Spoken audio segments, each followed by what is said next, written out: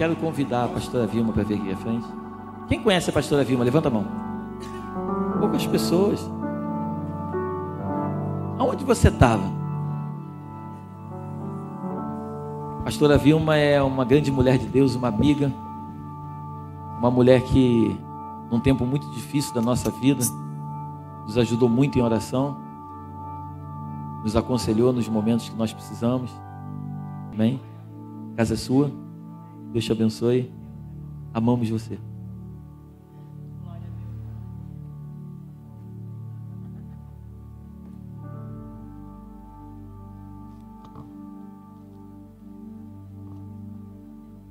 Todas as palavras humanas não dizem. O privilégio de estar nesse lugar. A Deus toda a glória, toda a adoração, todo louvor. E mais do que nunca, glórias ao Deus Altíssimo. A esta hora eu era para estar numa mesa de necrotério. E a vida é assim. Hoje nós possuímos, amanhã apagam-se as luzes da história. Porém, a graça de Deus me trouxe a esse lugar. E logo na chegada, aquela força da morte. Mas a morte só prevalece onde Deus permite que ela aconteça. E hoje eu confesso que verdadeiramente o Senhor está nesse lugar. Eu já sabia, mas a convicção agora enche a minha alma. E eu repito junto com esta igreja, com o nosso apóstolo. Quem está de acordo que nós temos um apóstolo aqui? Quem está de acordo que Deus plantou um apóstolo nesse lugar? Aleluia! E nessa comunhão, nessa conjunção, nós declaramos que Jesus Cristo é o Senhor. Fazemos isto para a glória de Deus o Pai. Os servos de Deus que ali estavam, apreensivos, levantaram um clamor. E a Bíblia diz que os ouvidos do nosso Deus não estão agravados para que não ouça a oração do seu servo. E ele fez o milagre.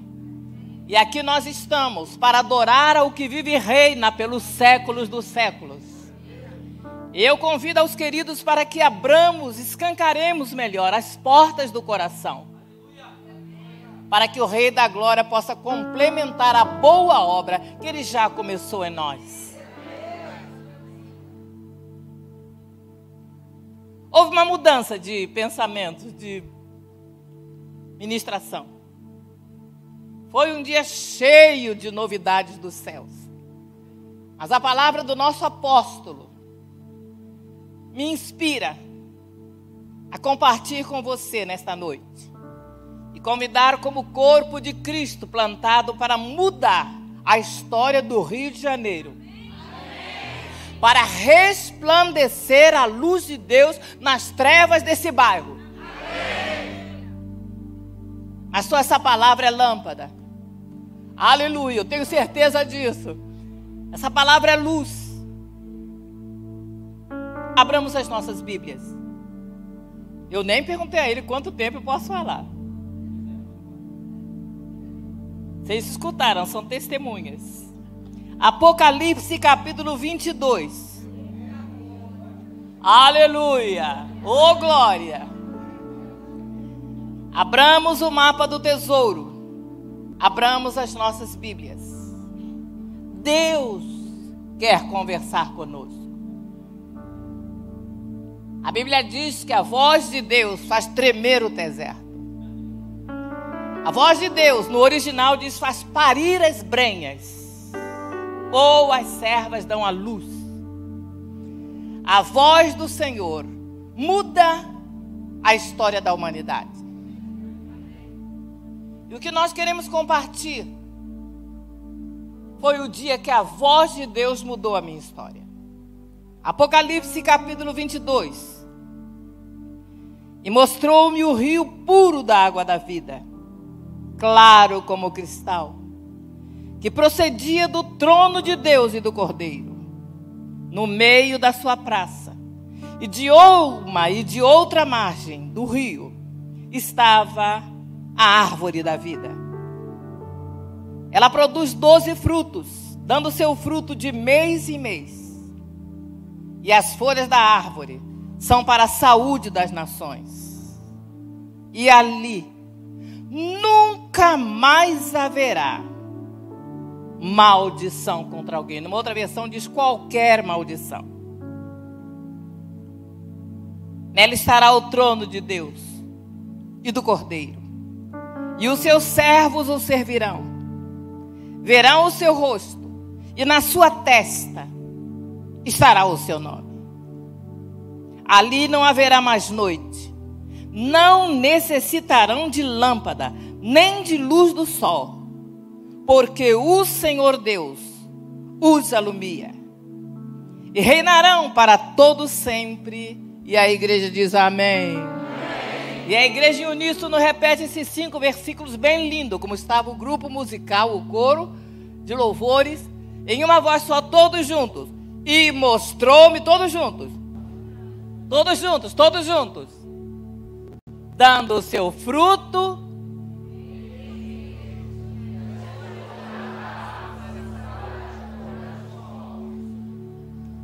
Nunca mais.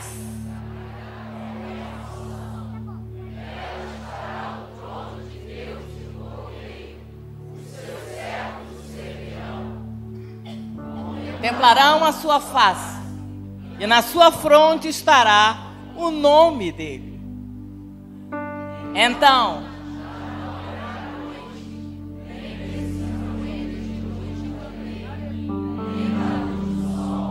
porque o Senhor Deus brilhará sobre ele e reinarão pelos séculos dos séculos e reinarão pelos séculos dos séculos. Amém.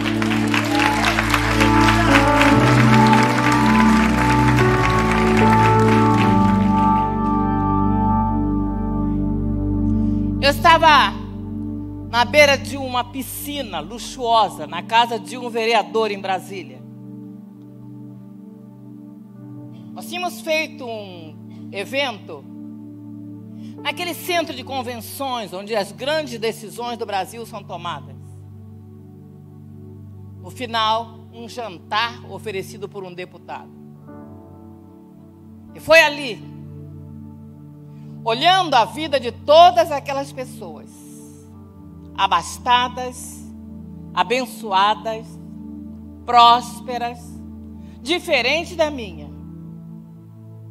Que uma pergunta veio ao meu coração.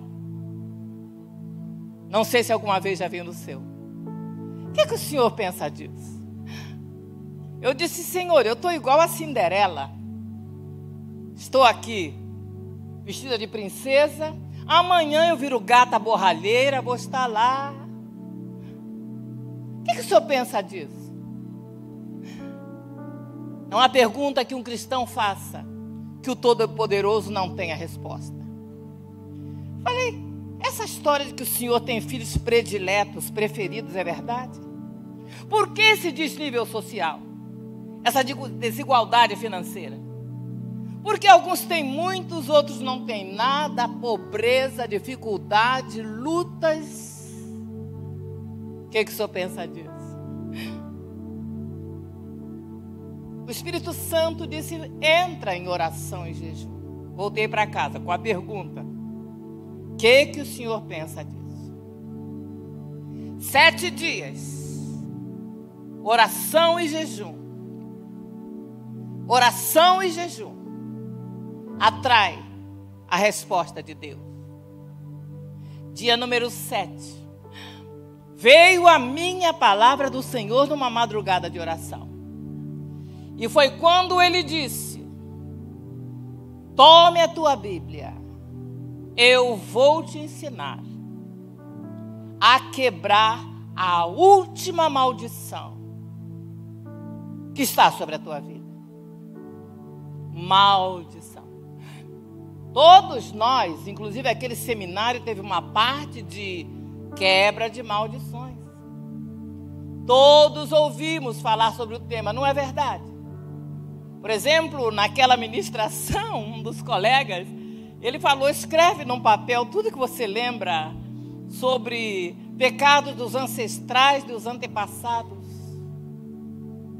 E várias folhas de um caderno, vários cadernos não seriam suficientes, não sei você. Eu sou oriunda de uma família de bruxos, pessoas que nunca conheceram Deus. Minha avó Yalorixá me consagrou no ato do nascimento. Toda uma sorte de ideias sobre maldição estava sobre mim. Porém, um dia aconteceu o Calvário. E o Calvário é o divisor de águas da história daquele a quem Deus chama para a sua família. Está de acordo? Diga amém. A própria história do planeta tem antes dele e depois dele. E eu perguntava, Senhor, eu já tenho feito tudo que ensinam. Tenho confessado Será que eu vou levar esse estigma a vida toda dos meus ancestrais? Será que essa coisa de maldição funciona em torno do mal que alguém me deseja? Muitos anos depois da fé, eu recebi mensagens do outro império dizendo: você vai voltar, você vai cair, você vai e você vai, você vai.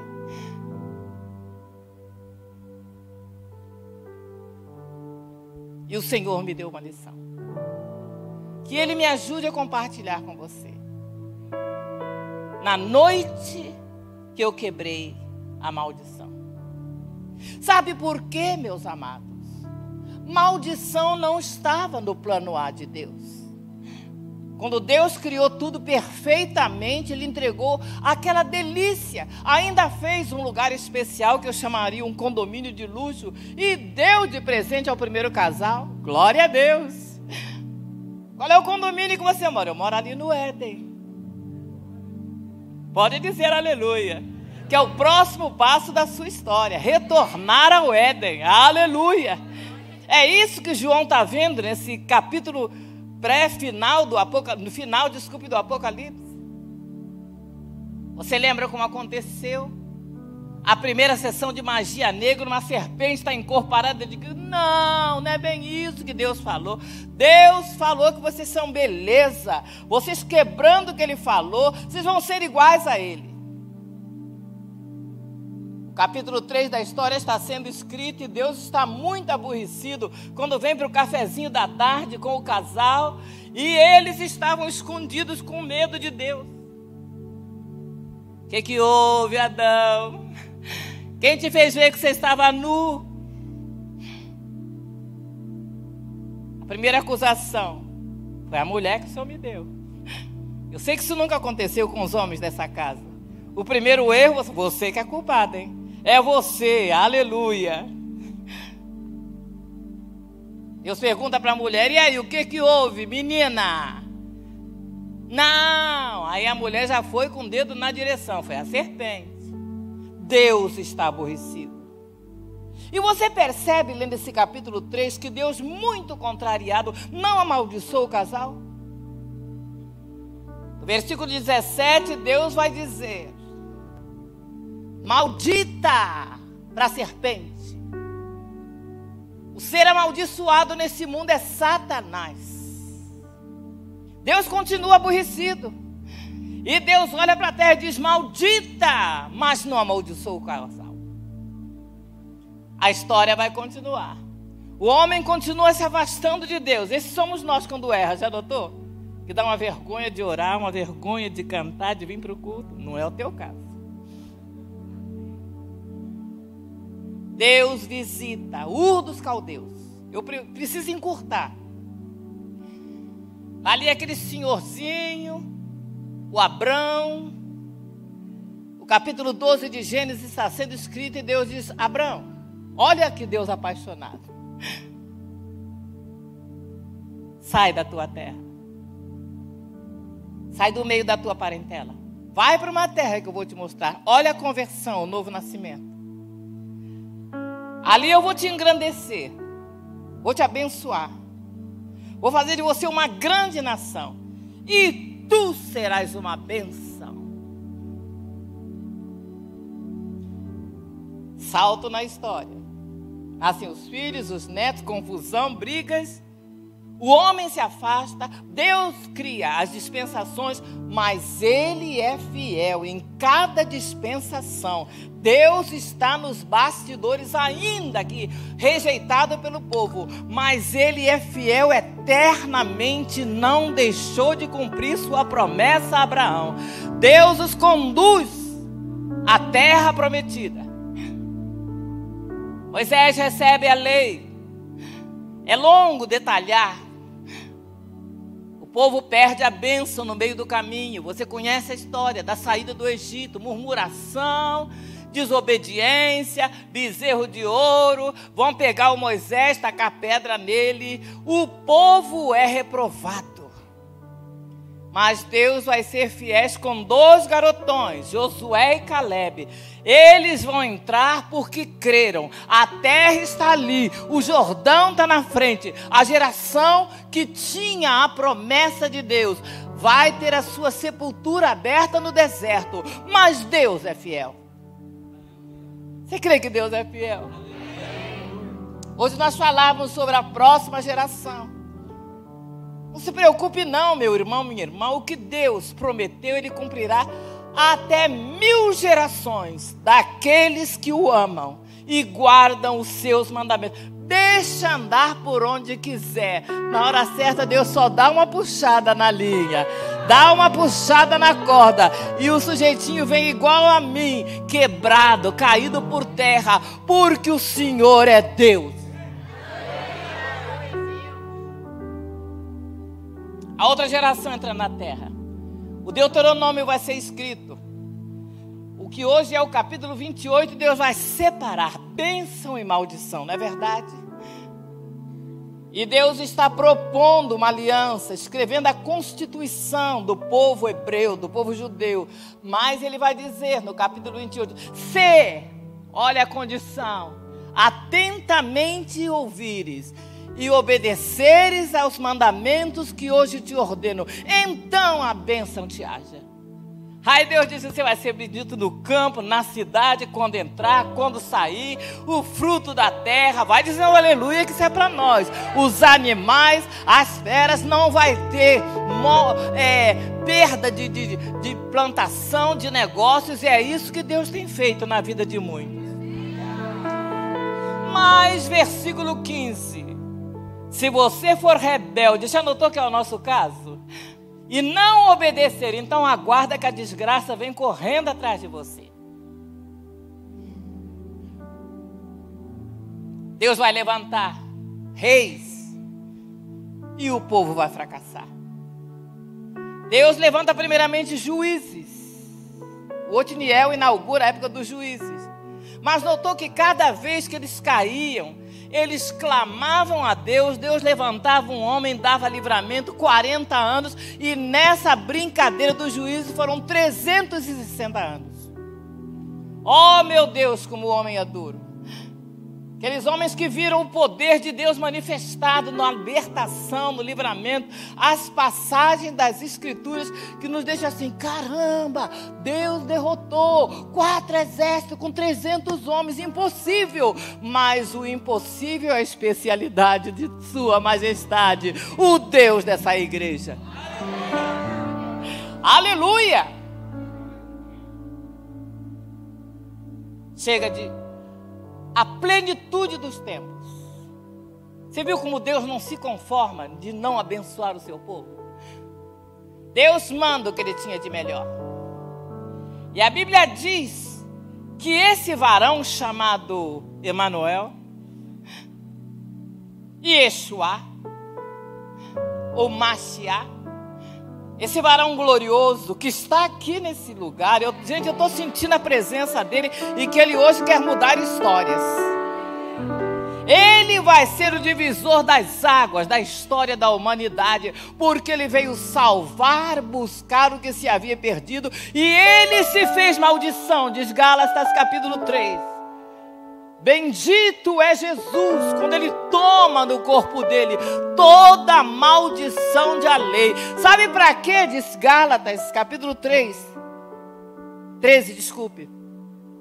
Para que a bênção de Abraão chegasse para mim e você. Isso é o espetáculo.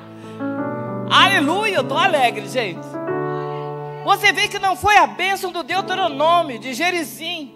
Foi a bênção de Abraão, lá do capítulo 12 de Gênesis, quando ele disse: Eu vou te abençoar, vou abençoar a tua casa, a tua terra, vou te multiplicar, e você que vai ser a bênção. Ah, dá um glória pelo amor de Deus. Aleluia!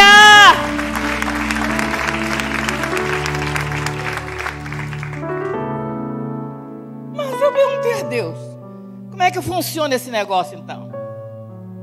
Eu entendo isso tudo. Será que o meu problema é o problema dos meus ancestrais então? Aí Deus usa o profeta Ezequiel no capítulo 18 e diz assim: Olha, acréscimos meus, nunca mais vai falar isso em Israel.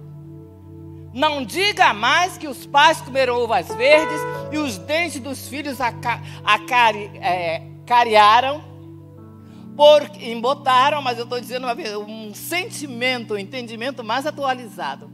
Ele vai dizer assim, olhando para mim e para você: todas as almas são minhas, tanto a alma do pai como a alma do filho. Aí ele diz uma coisa: a alma que pecar, essa morrerá. Falei, Deus, quer dizer que não é pela maldição dos meus ancestrais. Isso foi naquela madrugada. E ele disse: Não!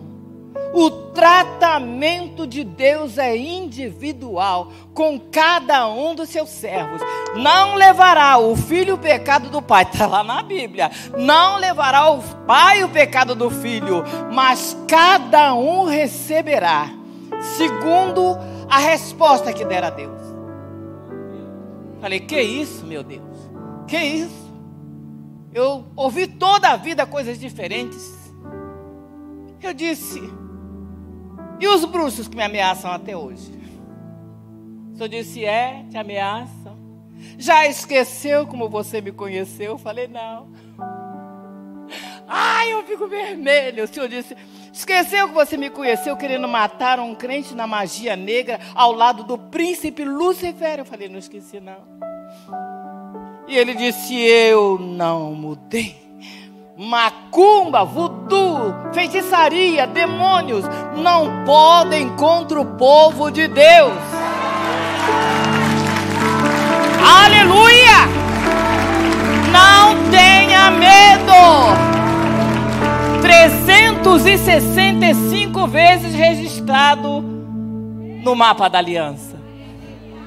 Você sabia que esse documento aqui está assinado com sangue? O sangue do Cordeiro valida mais de 8 mil promessas de Deus em dois testamentos. É muita coisa de bênção, não é verdade? Falei, tá, beleza, eu estou gostando.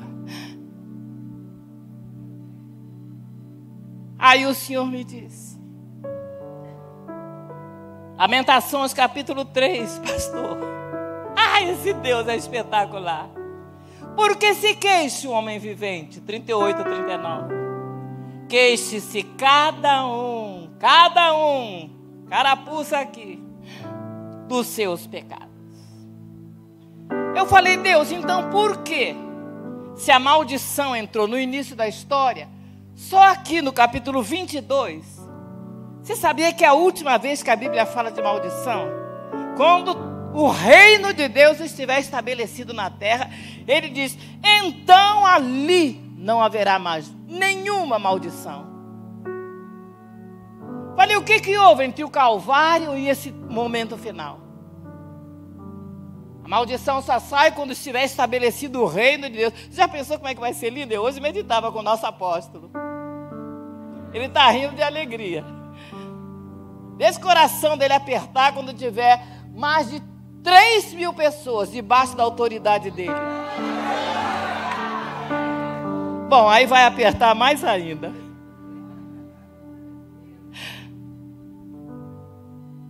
Por que, que a maldição só sai? Lá no final da história.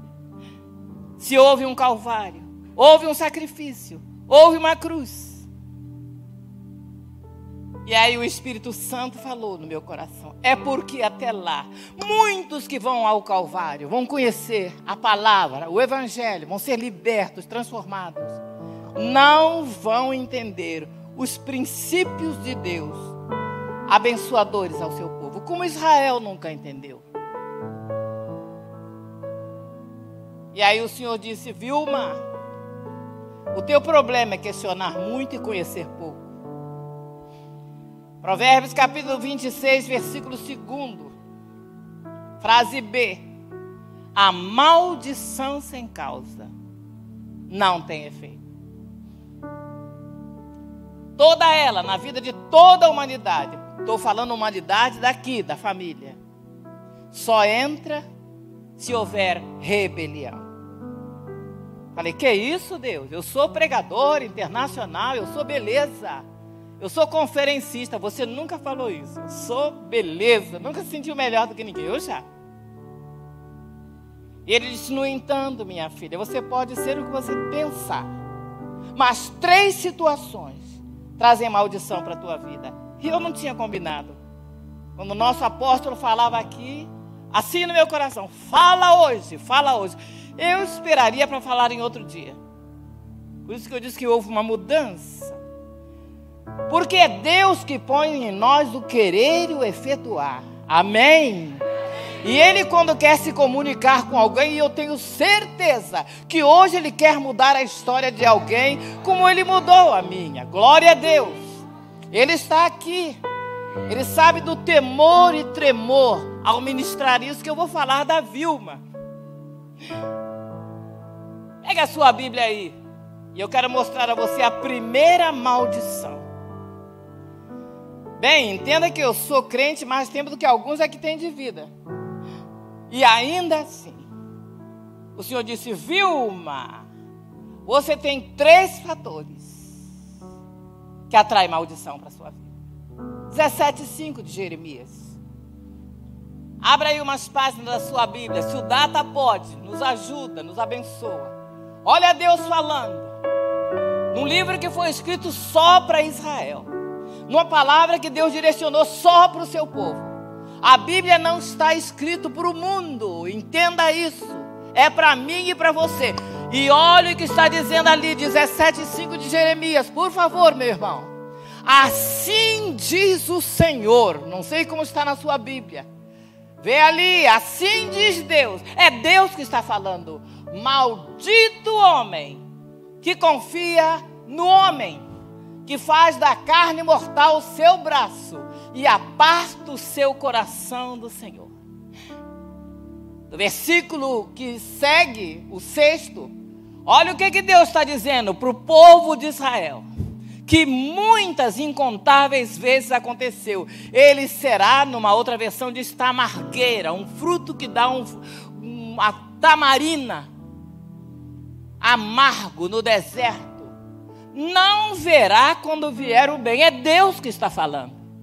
Olha, morará nos lugares secos do deserto, na terra salgada, inabitável. Falei, Deus, que coisa forte é essa? Eu já participei de tantas conferências de quebra de maldição. E o Senhor me disse: Filha, eu estou falando a você. Maldito homem que confia nisso aqui. Vocês não vão acreditar. Vocês sabem que era a pessoa que eu mais confiava? A Vilma. Se eu não for pregar, se eu não vender o meu material, se eu não fizer, ninguém faz por mim.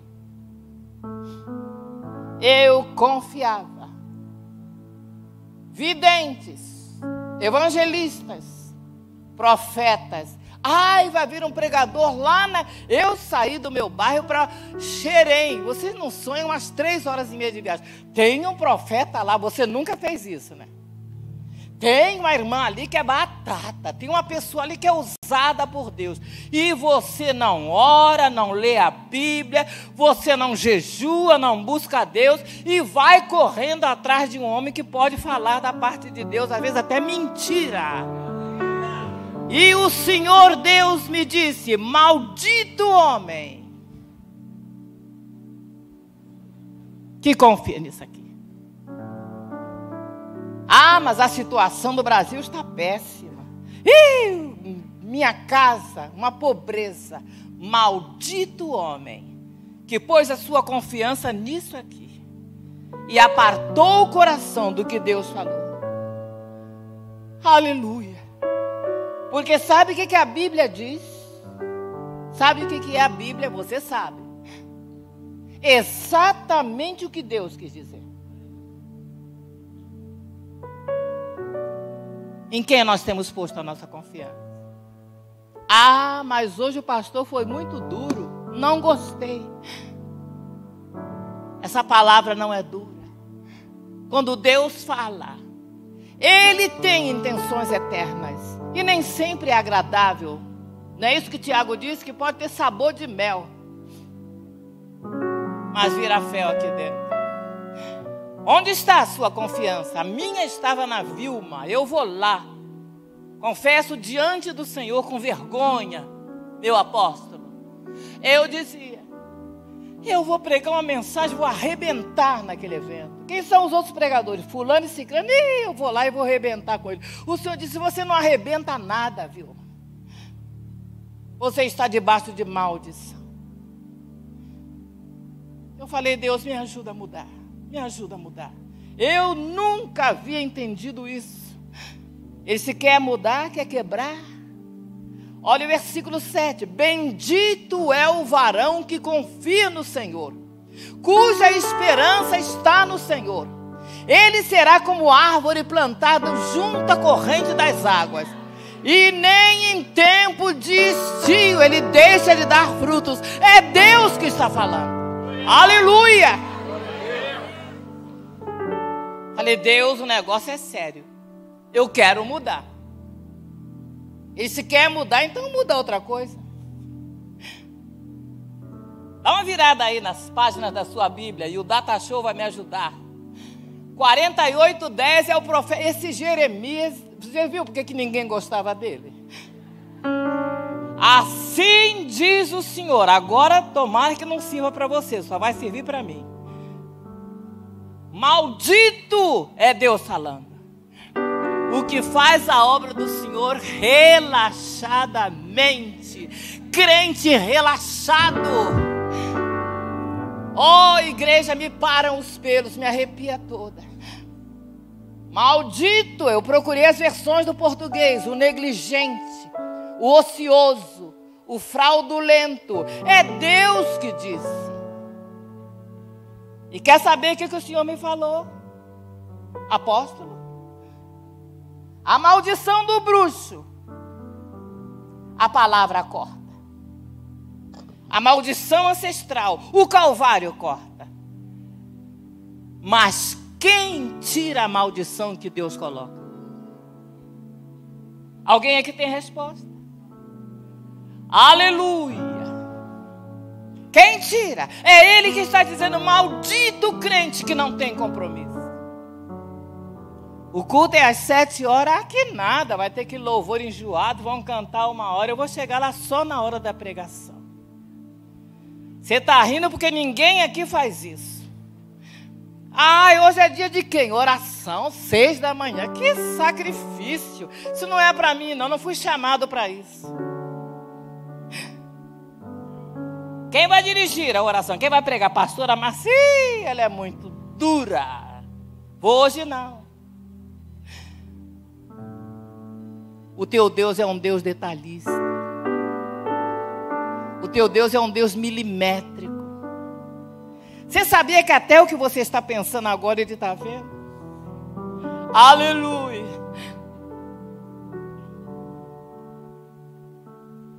Maldito. Faz a obra assim. Evangelização. Ah, não tenho nada a ver com isso. Igreja todo dia, isso é para fanático.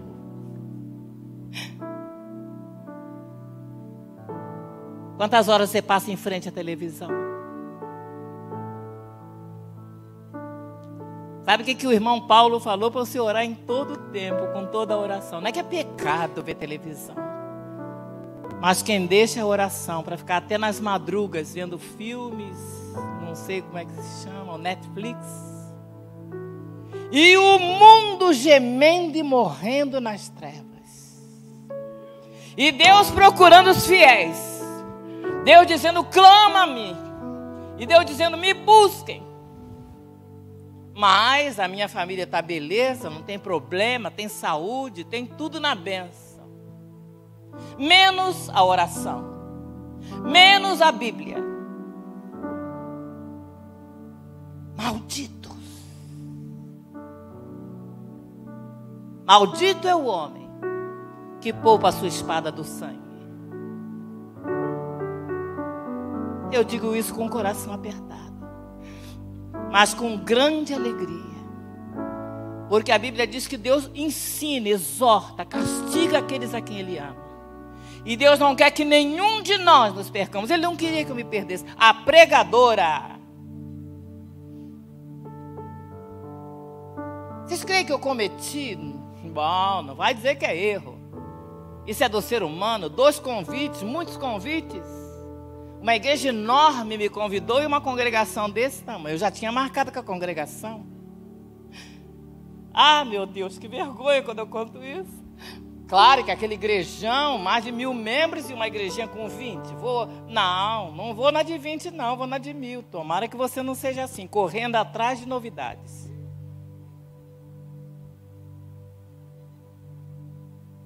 Passou os dias e eu encontrei com o pastor da igrejinha pequena. Aí eu sou chique, gente. Falei, aquela desculpa assim, bem é rasgada. Tem uma palavra que se diz. Rota. Pastor, o senhor me desculpe. Motivos alheios da minha vontade me impediram de vir ao culto. Assinai dizendo: Não dirás mentira para o teu próximo. Mas ninguém aqui faz isso. Dá a palavra e não cumpre. Ninguém aqui é como eu. Sabe o que o pastor me respondeu, apóstolo? Não precisa dar desculpa, não, Vilma. Você sabia que veio todo um terreiro de espíritas dentro da igreja para te ouvir? E quando terminou o culto, eles saíram debochando, dizendo: A gente sabia que ela não ia vir. Mas você nunca fez isso, de dar a palavra e deixar de cumprir? Se alguém nunca fez isso, diga aleluia, porque eu não consigo dizer. O Senhor disse, Vilma, por tua causa, o meu nome foi insultado. Como as pessoas tratam o nome de Deus olhando para você, para as suas atitudes, para o seu testemunho. Eu não ia falar isso. Ia dar uma mensagem daquela de sacudir mas o Senhor disse: Fala, eu vou multiplicar nesse rebanho os fiéis e vou quebrar a maldição na vida de muitos. Aleluia!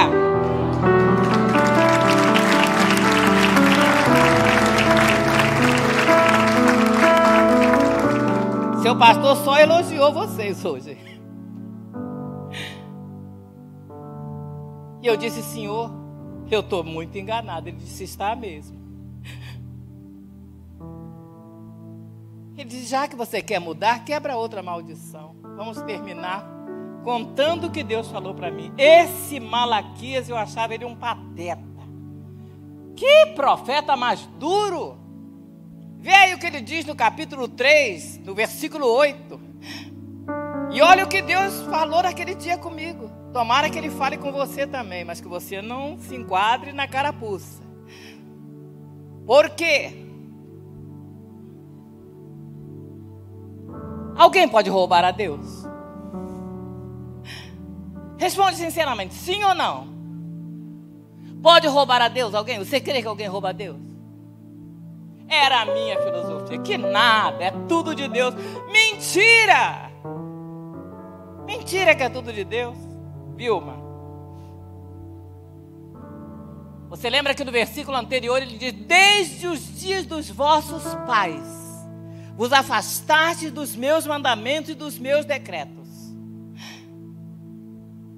Desde os nossos pais, desviastes.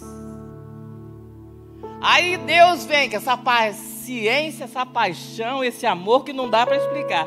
É o incomparável, infinito, insondável amor. E diz para nós: Voltem-se para mim e eu me voltarei para vocês. Olha a condicional da aliança. Mas nós, inocentes, dizemos em que nós temos que tornar? Eu sou a pregadora, a beleza. Eu falo para multidões, falo para muita gente, vou para tudo quanto é lugar. Versículo 8, põe aí, por favor. Roubará o homem a Deus? Foi a pergunta. E eu dizia: Não, ninguém rouba a Deus, tudo é dele. O Senhor disse: Mentira. Vocês me roubam. A nação toda. E aí os inocentes perguntam: Que nada, que rouba a Deus? Em que, apóstolo? Nos dízimos e nas ofertas, na minha versão, está alçadas. Vou contar para vocês a lição que ele me deu. O nosso apóstolo falou nessa noite. A menor moedinha. A menor nota, aquela notinha bem esbugalhada. Para as minhas crianças aprenderem a dar oferta. Olha que patetice moedinha de 10 centavos, de 50, vai lá e põe para o Senhor. O Senhor disse: Eu não sou mendigo. Para o mendigo, você pega uma moedinha e joga e tchau, esqueceu. Mas Deus merece, no mínimo, honra e glória. Falei, o Senhor vai querer dízimo de mim? É? Eu vivo pela fé, das ofertas, às vezes nem me dão ofertas. Quantas vezes já me deixaram depois de pregar 11 horas da noite, lá no Cafundó, sem ônibus, sem dinheiro da passagem, lá no ponto do ônibus. E o Senhor vem falar para mim de dízimo. Eu fui funcionária federal, olha eu apresentando para Deus o currículo. Eu dízimo cobri os dízimos todos da igreja, até o dia que eu decidi servir a Deus e viver pela fé.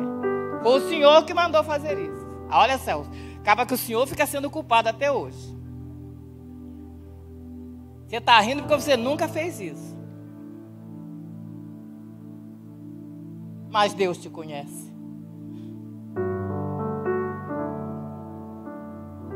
Nunca mais eu dei disso. O desemprego entrou na minha casa, a pobreza, a miséria.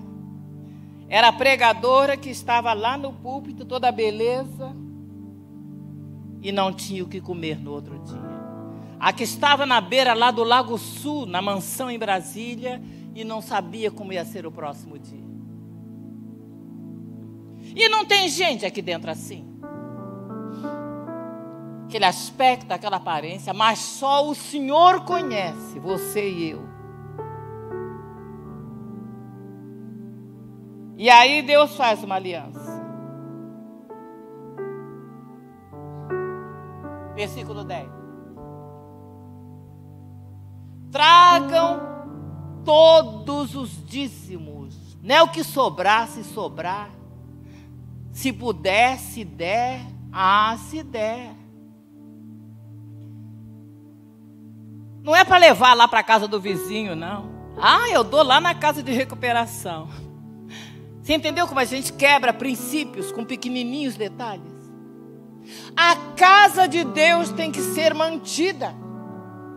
E Deus dá honra aos seus servos de manter o tabernáculo, o templo. Você consegue dizer aleluia? Ah, mas eu ajudo, eu dou lá não sei aonde. Ele está dizendo: tragam a casa do tesouro. É aqui que você e eu comemos, é aqui que nos alimentamos, aqui somos pastoreados, aqui recebemos a bênção. Vê as orações que os servos de Deus fazem. É aqui, não é na casa do vizinho. E olha Deus dizendo: traga A minha casa tem que ter mantimento.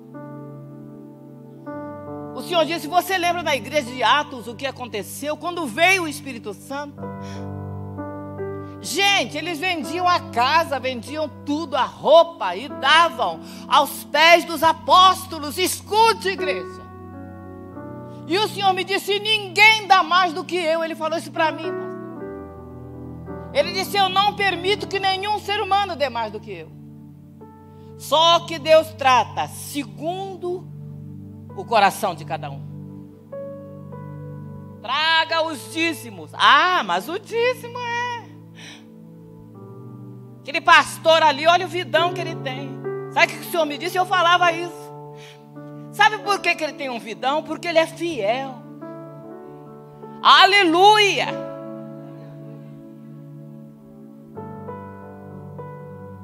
O Senhor disse: Vilma, traga. Traga. E depois você faz prova. Ah, se Deus me der, eu vou dar para ele. A gente nunca cumpre.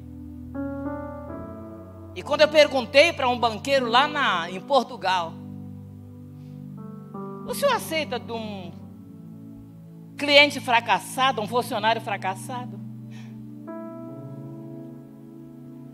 Se ele chegar na sua, seu escritório e disser: O senhor pode me enriquecer para eu depois dar para esse banco aqui? O senhor me empresta um milhão de dólares, que depois eu vou pagando beleza para o senhor. O senhor disse: Vilma, você, você é a parte quebrada. Você primeiro. Traz você primeiro. Depois você faz prova Se o senhor ele está dizendo: se eu não abrir a janela do céu, Deus não precisa intermediário, não. Você lembra que teve uma ocasião na vida do povo hebreu de Israel que Deus mandou comida dos anjos? Frango assado, pãozinho, beleza. O pãozinho de Israel é uma delícia. Agora imagine dos anjos. Já pensou em franguinho assado mandado por Deus?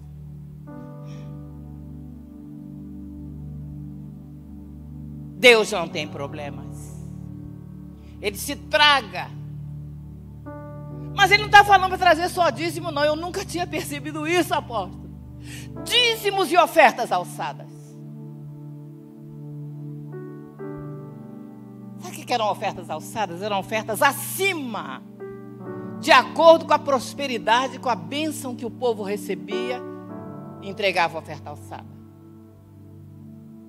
o Senhor disse aqui: depois que você fizer isso, faça a prova de mim. Ah, o que, que ele diz que vai fazer?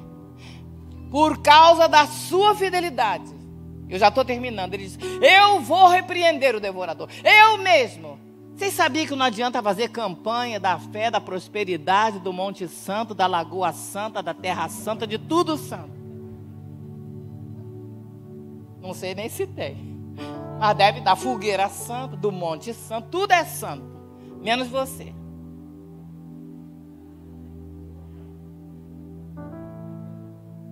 Deus está querendo mudar a história de alguém aqui. Ele diz: traz você, não rouba mais dízimos e ofertas alçadas. E eu vou pelejar. Você quer saber o que ele disse para mim que acontece nessa hora? Eu estou diante do Espírito Santo falando. Foi uma coisa a noite toda Deus conversando comigo. Ele disse, eu mesmo ponho a roupa de guerra. A roupa de comandante supremo, de senhor dos exércitos. E eu vou brigar com esse devorador que tem destruído a sua vida. Não é uma promessa? Eu mesmo, você pode ver o general vestido com aquela roupa de guerra, resplandecente, aleluia. Não fica demônio, não fica miséria, não fica nada diante dele. Pode dizer aleluia, por favor? Aí ele diz assim: ele não vai consumir o Brasil.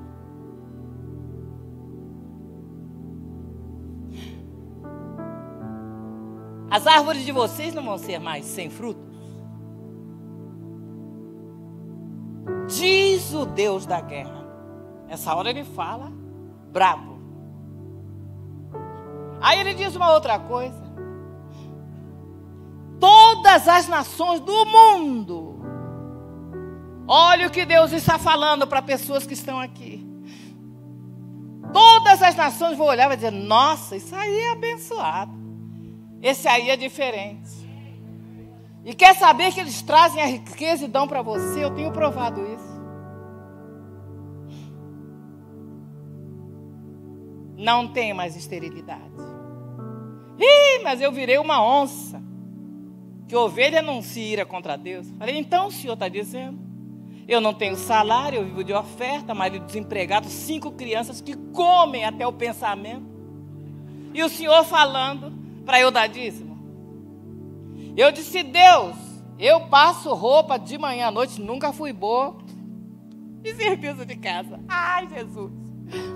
Fui burocrática a vida toda. Chique, não é, pastora?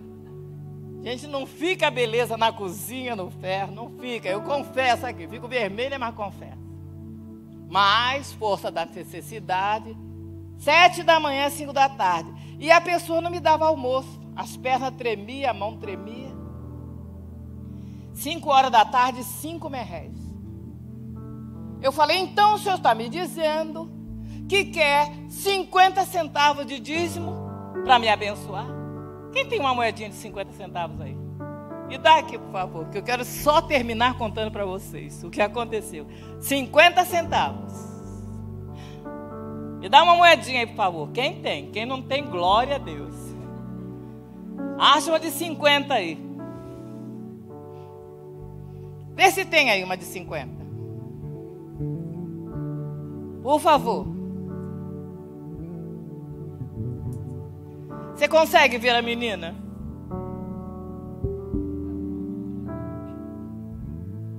Falei, o senhor quer isso aqui para me abençoar. Pode ficar aí. Falei isso, apóstolo. Quer dizer que é isso aqui. Sabe o que ele me respondeu? Não, Vilma. Eu quero 50 centavos de fidelidade para te abençoar. Ficou arrepiado? Eu também fico. 50 centavos de fidelidade. Todos os dias na ministração se diz: não é a quantidade, é o que está no coração. Ele disse: Minha filha não é moeda, porque a viúva pobre entrou para a história e deu mais ou menos 50 centavos. Aleluia. Ele disse: é o coração de quem está entregando. Falei, então quero ver quem é o Senhor. Recebi os cinco merréis. Peguei um envelopinho de dízimo, aquele envelopinho amarelo.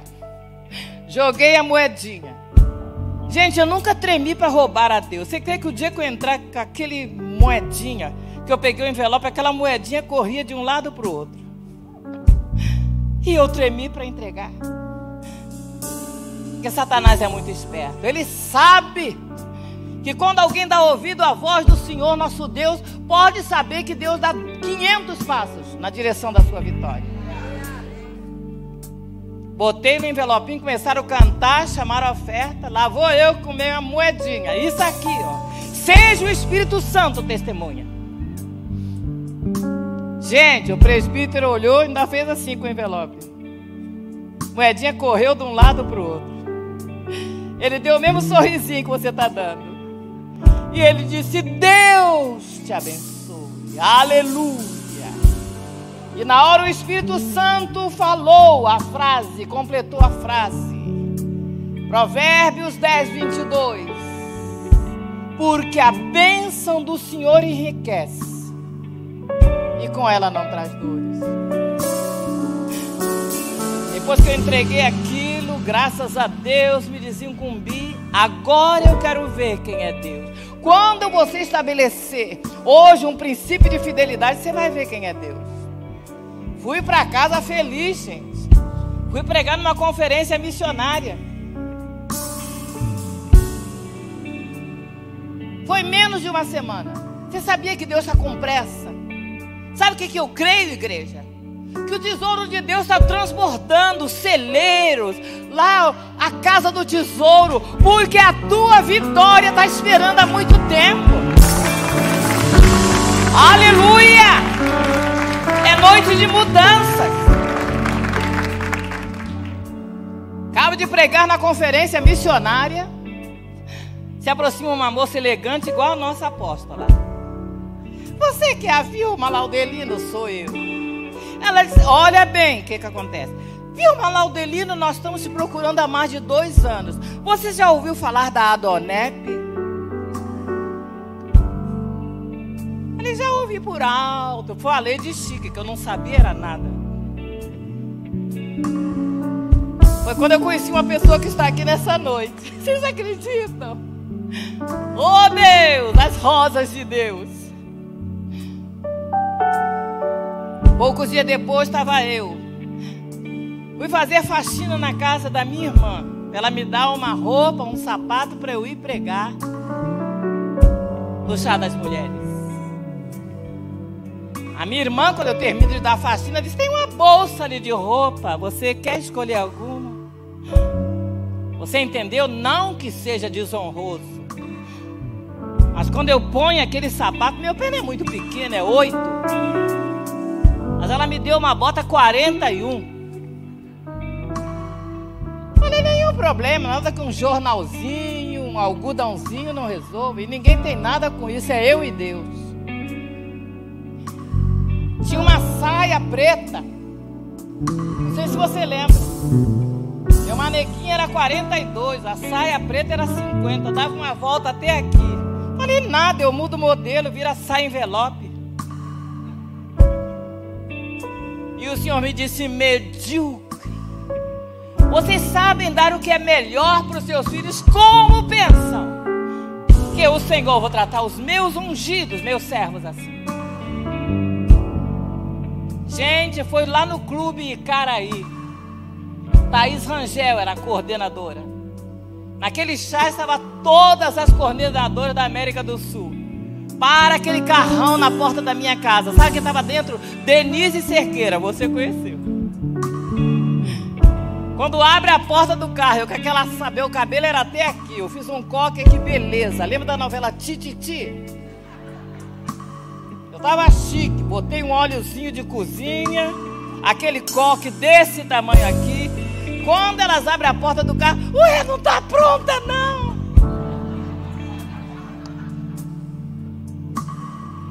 Denise Cerqueira passou a mão no nariz assim, era o óleo de cozinha barato que eu tava na cabeça.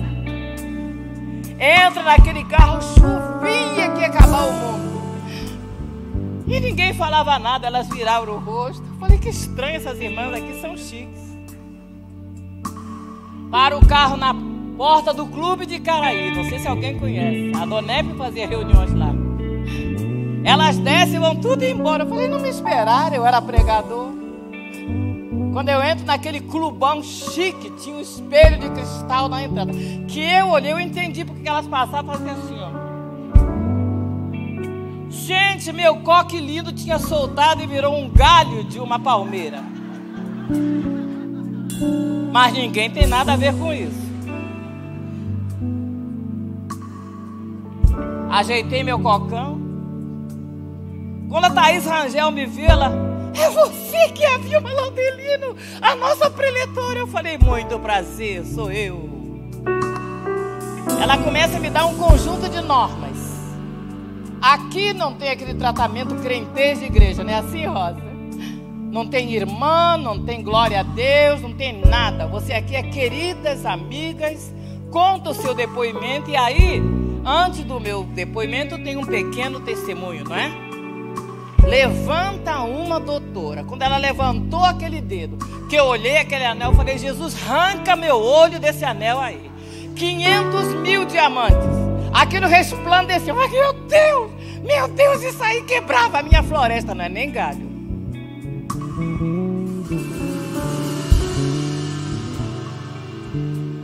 Ela disse: fala 20 minutos. Quando eu levantei, elas estavam assim. Ó. Falei: que é que vocês estão rindo? Qual é a graça? Eu fui bruxa. Eu trabalhei para muitas de vocês. Olha, eu na Adonep. Foi assim que eu cheguei. Quantas estão aqui rindo, lindas, elegantes, e tomou o marido da sua melhor amiga? porque eu trabalhava para vocês. Quantas de vocês tem depressão, tem solidão, tem pensamento suicida? Meus irmãos, quando a maldição quebra, quebra. E Deus coopera com a sua palavra. Cai um temor sobre elas. Eu ouvia. e a Thaís assim. Ela quase estava pulando em cima de mim. E eu falei, queridas, eu estou alegre, Deus está aqui, diga glória a Deus. Eu pentecostal, assembleiano. Você pode dizer aleluia, a Rosa deve lembrar, o dia que eu preguei na Dona Eva, ela estava lá, gente, estou caguetando. Oh, meu Deus. Ainda lembro quando ela chegou e disse: Você já ouviu falar da gravadora Rosa de Saron? Claro que eu conhecia. Matos Nascimento, Fama, tudo quanto é cantor. Ela disse: Eu sou a Rosa. Eu falei: A Rosa! A Thaís não aguentou comigo. A Thaís é chique. Ela levantou e disse assim: já tá bom, me dá esse microfone. Eu falei: não vou dar. Eu não sou desse ambiente, vocês me chamaram. Eu só vou te entregar isso falando no microfone para Thaís Rangel. Quando Deus fizer o que ele tem que fazer, eu bem no poder. Só tinha um detalhe, apóstolo, a maldição estava sendo quebrada. Falei 40 minutos. Ela estava quase me agarrando. Eu falei, não dou. Já estou terminando, só um minuto mais. Quando eu chamei, meus irmãos tinham umas 300 mulheres dentro daquele clube, chorando, outras. Ah, ah, Gente, quando eu fiz o chamado, não foi aquele chamado colega, se você quer minha amiga, uma oração. Eu falei: quem quer conhecer a Jesus, sair do pecado, ser salva do inferno, dê um sinal com a sua mão direita. Mas não era para mandar dar sinal, era para mandar, amiga, fique de pé. Depois eu aprendi. Mas quando Deus quebra a maldição, sabe o que aconteceu, gente? 140 mãos se levantaram. Aleluia! Quando a maldição é quebrada, o Espírito Santo coopera com você. Quando ela pega, quer pegar o microfone, tá bom, já levantou todo mundo. Eu falei, não, Deus está dizendo, olha como ele faz tudo completo. Eu falei, o Senhor está me dizendo que tem mais. Cadê as pessoas que estão ali que Deus está chamando? Gente, os garçons foi tão engraçado, um atrás do outro, aquelas mãozinhas, pareciam uns pinguins andando um atrás do outro. 147 mãos. Ela já chegou, já passou todo mundo. Eu falei, não, senhora, tem gente aí porque Deus está falando. Cadê a pessoa que Deus está mandando chamar? Ninguém entendia nada, nem eu. Ela apareceu lá na porta do clube, uma senhora elegante, uma loura da minha altura, chiquérrima. E ela chorava alto, ela dizia: Ela está me chamando, ela contou a minha vida. Sabe quem era a mulher? Era uma líder espírita que estava no andar térreo do clube. E era reunião espírita. E Deus falou com ela e ela subiu e chegou chorando. Pastor disse: Eu quero esse Jesus, eu quero. 147 mãos e pessoas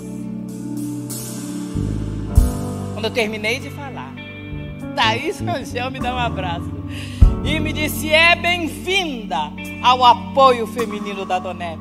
Esquece as normas, obedece o que o Espírito Santo te mandar. E, gente, a Thaís Rangel pegou um negocinho, um papelzinho. Ela disse assim: Isso aqui é Deus mandando falar para você. Que quem serve a Ele sinceramente não passa necessidade. Eu ainda olhei e falei: será que ela me conhece? Apertei o papelzinho, que eu recebo muitos pedidos de oração. Chegando em casa, eu estou encerrando. Eu abri o papelzinho. Seja Deus testemunha. Sabe o que, que é? Era uma verde. Você pode ser aleluia? E não era reais. Era uma verde americana. 100 dólares. Falei, ah, esse negócio de dízimo acabou. Nunca mais eu vou dar dízimo. E eu sou filósofa. Eu inventei uma palavra. Eu vou dar o vízimo. Depois, se eu cismar o doutríssimo, o quadríssimo, é problema meu com Deus. Peguei 20 dólares.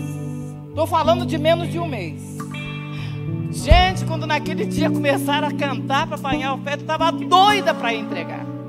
Porque a Bíblia diz que Deus ama quem dá com alegria, não quem dá como não, eu vou dar o quê? Nunca mais o devorador morou na minha casa. O evangelho não me trouxe dinheiro, riquezas. Mas um saldo de milhares de pessoas saídas do império da derrota de Satanás para o reino de Deus e nunca mais me faltou nada. Nada. Entendeu? Porque o problema da sua vida. Eu quero orar por pessoas que estão aqui. Perguntei para aquele diretor de banco na Europa. Uma pessoa ladra, desonesta, infiel. O senhor daria tudo que ela precisa? O senhor supriria ela tudo? Daria saúde, a bênção? Ele fez assim para mim. Eu disse, mas foi isso que o Deus Altíssimo fez comigo. Fica de pé. Foi isso que o Todo-Poderoso fez comigo. Quando a Bíblia chama o homem de ladrão, alguém diz, ai, fica chamando de ladrão. Não é a Bíblia, não é o homem, não. É Deus que está chamando. Vocês me roubam, quem rouba é o quê? Aí Deus diz: tragam o dízimo. E é o que eu vou chamar nessa noite. Se o meu querido e a minha amada me dão a lição. Você sabe quando é que o homem tem mais que semear? É no tempo da escassez. Se eu fosse contar agora o que eu tenho vivido, como Deus satisfaz o desejo. Coisa de mulher, umas besteirinhas digo, Deus, eu estou até com vergonha daquela pobreza que o Senhor me tirou, eu desejar um anel de ouro branco. E hoje contei para o nosso apóstolo. Eu estava saindo de um país onde eu fui pregar e disse: Não precisa me dar oferta, eles são pobres demais. Mas Deus não é pobre demais. Gente, eu estava passando no batente da porta da Polícia Federal. Estava ali no canto, eu vi aquele negócio brilhando. Falei, que. Baixei, peguei aqui está. Deus não deve nada para ninguém. Ou você está pensando que eu ia comprar um anel desse, ouro branco, com safira, com a pedra amarela, eu nem sei qual é ainda. O que é pedra amarela, hein? Ametista? Eu peguei, olhei, deixa eu ver se o dono não está por aí. O Senhor disse, minha filha, eu estou te dando presentinho pelo trabalho que você fez. Oh, Deus. Deus dá presentinho, gente. Você sabia que na mão direita de Deus está tudo que você precisa? Alongar de dias. Quem é que quer morrer aqui? Eu hoje vi a morte de perto. Mas na mão de Deus está o alongar os dias. E na esquerda, você sabe o que, é que tem? Riquezas e honras. Deus não tem problema. Curva a sua cabeça, a hora passou. Deus queria falar comigo e com você. Gente, eu hoje não tenho ninguém que me mantenha. Você crê que às vezes me dá vontade? Eu tive missionária sete anos no estrangeiro. É cruel sem ter mantenedor. Só conto para você que teve um dia que eu amanheci, tem dia que dá umas vontades assim, esquisita. Falei, Deus, eu queria almoçar salmão hoje. Salmão com purê de batata e alcaparras. Falei, o senhor me desculpe, mas eu estou com vontade. Levantei. Foi Max Lucado disse: Cuidado com o que você pensa. Deus está escutando tudo. Seja ele testemunha, toca o meu telefone. Uma pessoa que vem lá do extremo sul, na cidade que tem o salmão. Maior exportadora de salmão para o mundo todo. Está em Puerto Montt. A ligação, viu? Eu estou em Santiago. Eu posso ir almoçar com você? Eu falei, meu Deus, eu tô pura. Falei, vai ser uma alegria. Aí já pensando, o que, que eu vou dar para essa irmã comer? A irmã bate na minha porta meio-dia e meio com uma barra de salmão. Três quilos. Porque na mão direita não é no banco, no seu trabalho, no seu esforço, é na sua confiança em Deus, na sua fidelidade a Deus, que está o que você deseja por Deus. Teve outro tempo que ficou azul marinho, que eu não digo que fica preto. Para crente nunca fica preto. O mais escuro para o crente é azul marinho. Não é verdade? Ai, tá preto. Que preto? Que preto tá no inferno. Eu morava num condomínio de luxo, numa torre. Três meses de taxas do condomínio. Aí as pessoas começam já a dizer que vai cortar tudo. Tinha é, calefação interna, tinha não sei o quê, e nós não tinha nada. No dia que nós recebemos o aviso de corte da, da, da energia, imagine, graus abaixo de zero, eles vão cortar a sua energia. Falei, pastor, Vamos orar, vamos jejuar aqui. Se Deus quiser que a gente fique no escuro, glória a Deus. Se não quiser, glória a Deus.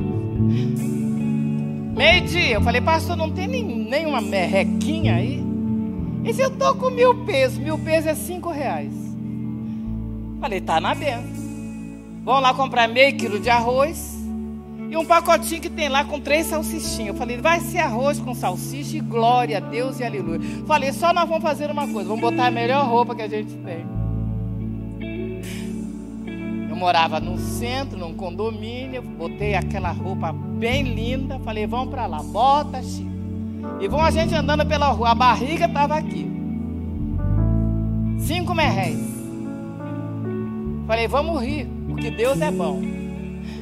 Tem outra coisa que a gente precisa aprender: não murmurar no dia difícil. Dai graças a Deus por tudo. Ri da vida. Bota a melhor roupa e vai para lá. O Senhor está aqui. A gente olhou todos os mercados para ver onde o arroz quebradinho era o mais barato. Que as coisas lá são caras. Cinco reais é um dólar. Eu tinha menos do que isso. Ele tinha 500 pesos. Paramos no sinal. Está ali o mercado Santa Isabel. Fechou o sinal, fica a gente parado. Mas bem lindo. Meu telefone estava desligado, estava sem crédito. Mas sem crédito ou com crédito, Deus não tem problema. Ele toca,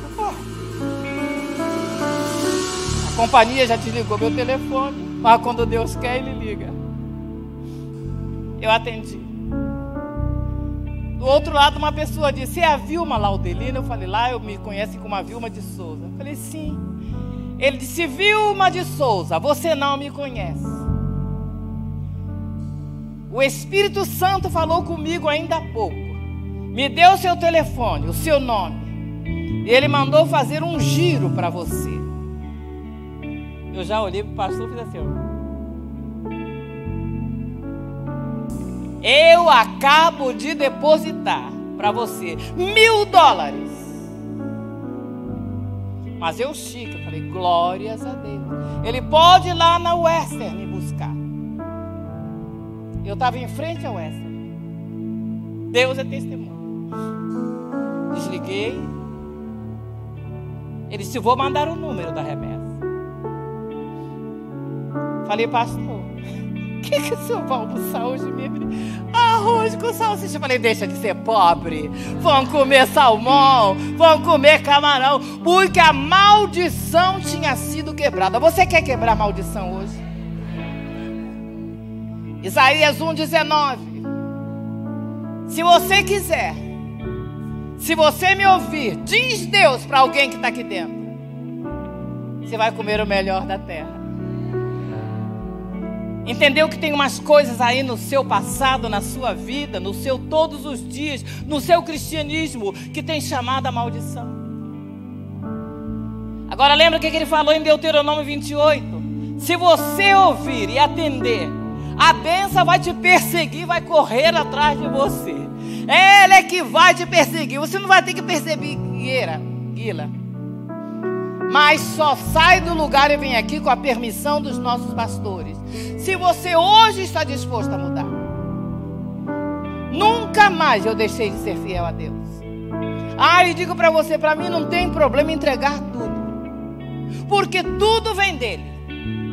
E ele disse para mim: Minha filha, eu não perco para nenhum de vocês.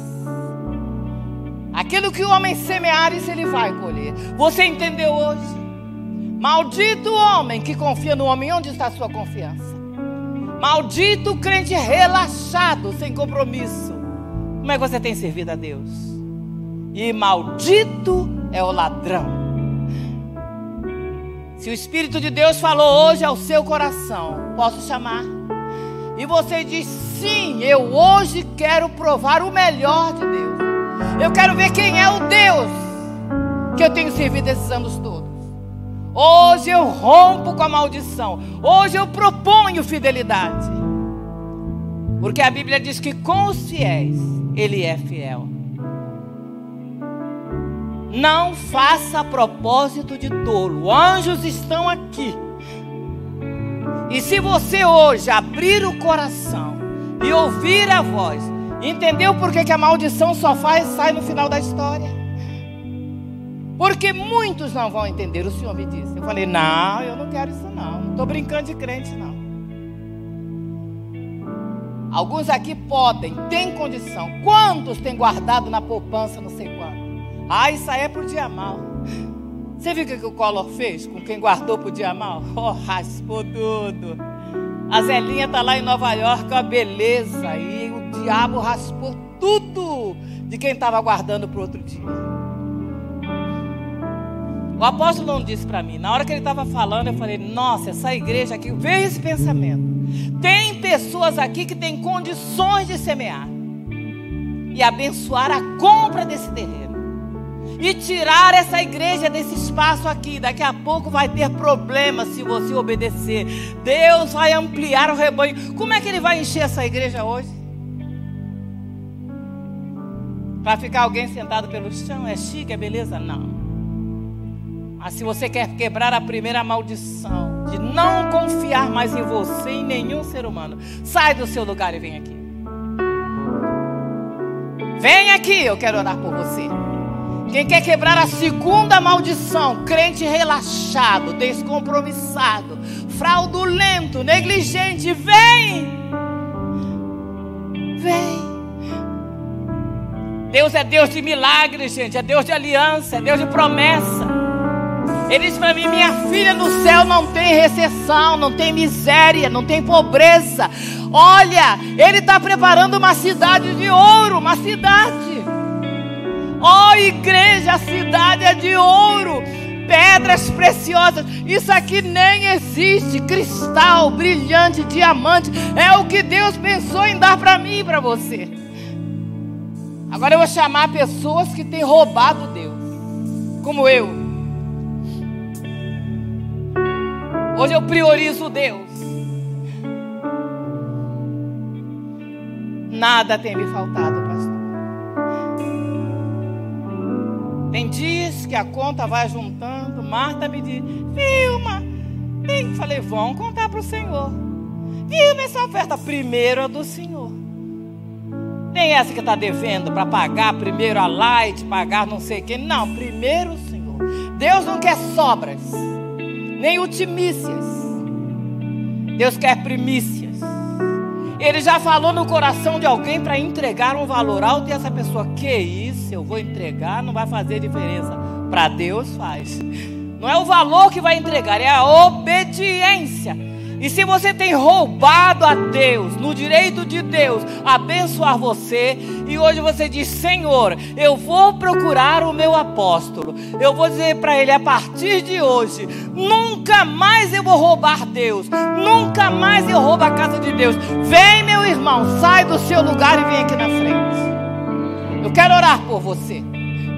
Sai do seu lugar, não tem vergonha não. O Pai Celestial marcou essa noite por amor de você. E ele disse: Sabe o que? Através de Jeremias: Eu é que sei o que eu penso sobre vocês. São pensamentos de bênção e não de mal, para dar tudo o que vocês desejam. O que é que você deseja de Deus? Saúde, paz, prosperidade. O Brasil está quebrando. Você sabia que Deus não trata com o presidente da República? Deus não trata com o Senado, com o Congresso, nem com o Supremo. Nós vemos a situação que o mundo está, que o Brasil está. E o que que Deus diz quando Salomão ora? Famosa frase do Todo-Poderoso. Salomão disse: Se alguma vez o teu povo pecar e cair na desgraça, e perder a guerra, e perder tudo, palavras minhas, o Senhor perdoa. Aí Deus, o amoroso Deus, está falando para alguém que ainda não passou. Ele responde para o Salomão: Se o meu povo, entendeu, igreja? É o povo de Deus, o termômetro, meu apóstolo, da bênção de uma nação, é a igreja. Se o meu povo que se chama pelo meu nome, se humilhar, orar, buscar a minha face e se converter dos seus maus caminhos, é Deus que está se colocando à disposição. Ele disse: então eu vou perdoar pecados e vou sarar a terra. Vem, tem pessoas que precisam passar ainda. Você não tem sido fiel em tudo. Deus não é acusador, Ele estimula, Ele exorta, Ele ensina. Você pensa, ah, mas eu não vou passar. É com você e Deus. Naquele dia, eu entreguei uma moedinha. Uma moedinha. Já cheguei a dar mil vezes mais aquela moedinha. Porque Deus não é homem.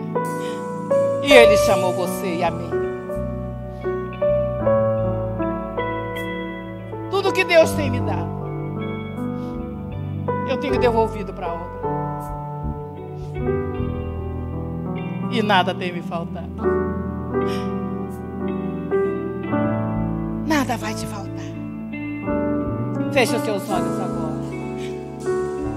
Eu sinto anjos se movendo nesse lugar. Você viu o seu apóstolo dizer: Eu não seria o pregador hoje, não estaria aqui essa noite.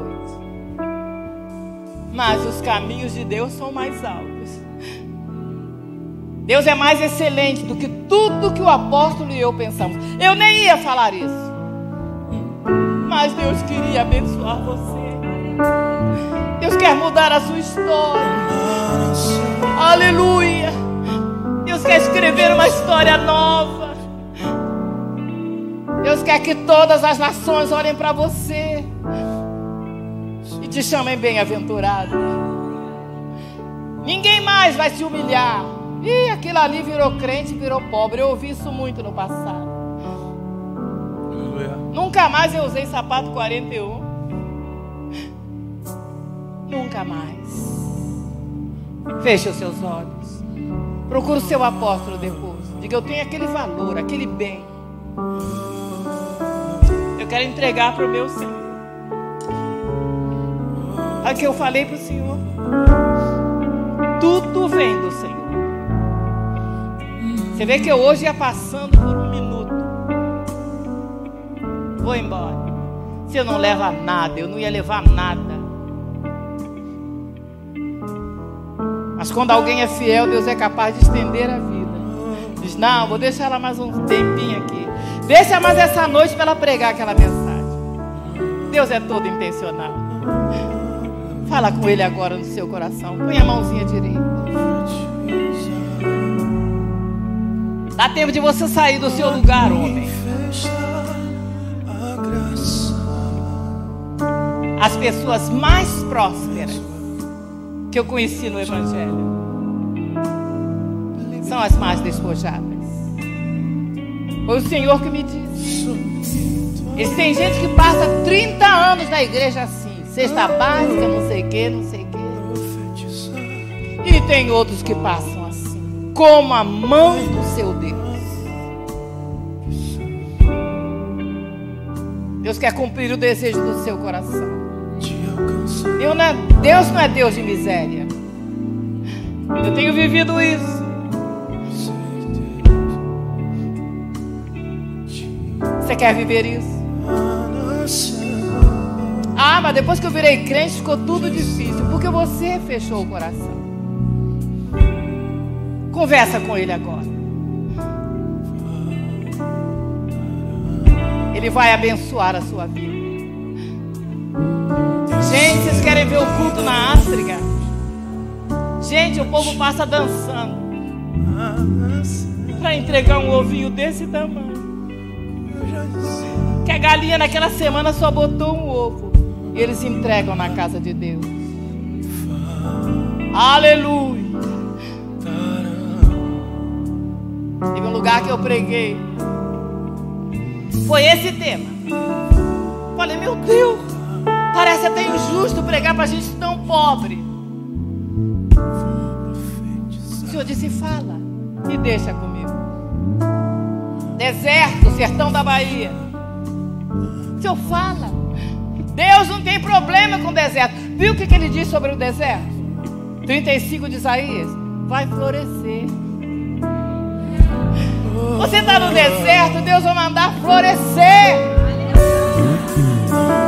Gente, sabe o que, Deus fez? Quando o povo fez o que esses valentes, que só os valentes fazem isso. Uma noite mandou um vendaval. Jesus é um espetáculo.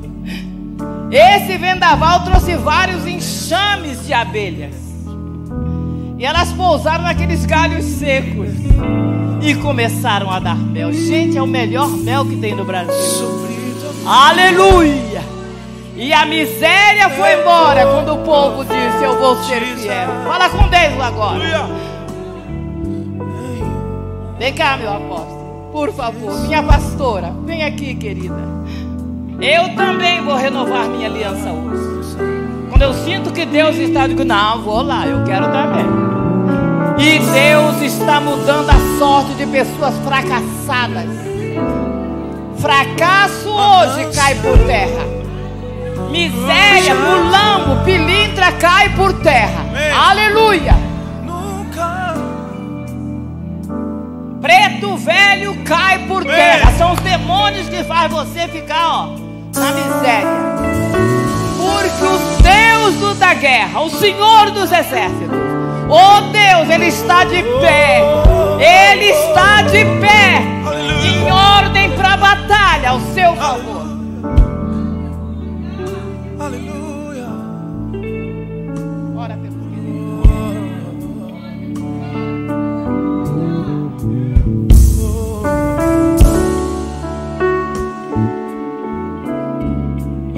Orarmos, eu tenho dito nesta casa que Deus ele não busca pessoas eloquentes, mas Deus tem buscado homens e mulheres verdadeiros. O dia que a igreja de Cristo entender aquilo que foi pregado através do lábio dessa profeta de Deus, a igreja vai entrar num outro nível de adoração. Senhor diz: Minha é a prata, meu é o ouro. Riquezas e bem duráveis estão comigo. Todas as fortunas da terra estão nas mãos do Senhor. E eu pergunto para você: por que, que o Senhor não entrega essas fortunas na mão dos seus filhos? A Bíblia diz que Ele é um Deus da justiça. E Ele não pode ir contra a sua própria justiça. Ele fala o tempo inteiro na Bíblia sobre fidelidade, sobre obediência.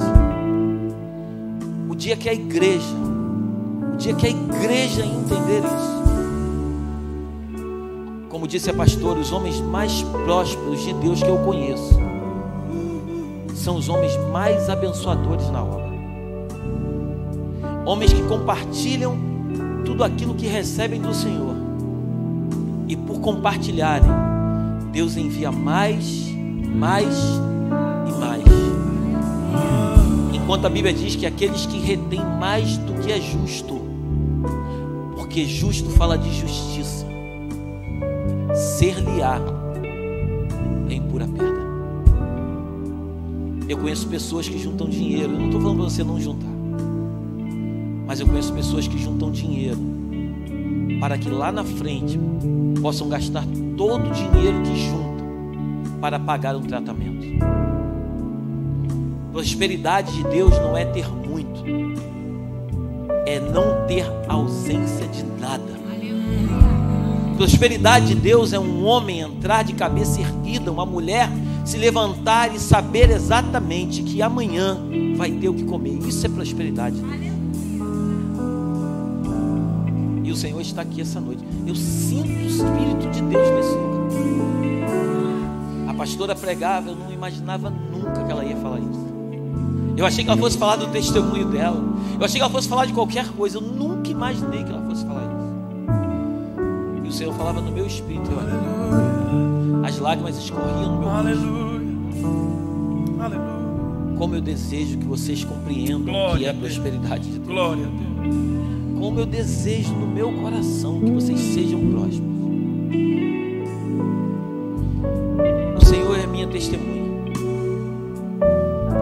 O dia que eu aceitei ser pastor de um ministério, eu nunca pensei em ser pastor para prosperar através do ministério. O Senhor me deu coisas que eu nunca sonhei na minha vida.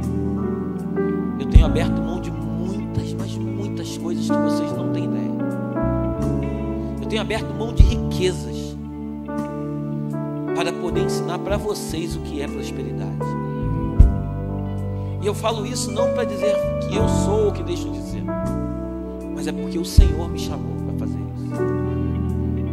Se você quiser comer o melhor dessa terra, eu te falo nessa noite com a autoridade que os céus me deram. Inclina a tua cabeça.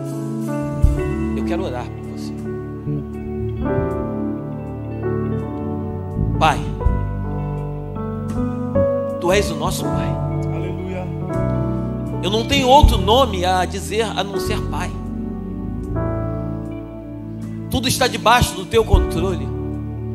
A tua palavra não é a minha, diz que basta uma palavra tua Amém. e tudo é transformado. Tu conheces o coração de cada um dos teus filhos, a começar deste altar. Tu sabes o desejo do coração de cada um de nós. E se o nosso desejo, meu Pai, se o nosso desejo tem agradado o teu coração, eu te peço nesta noite, abre as comportas dos céus,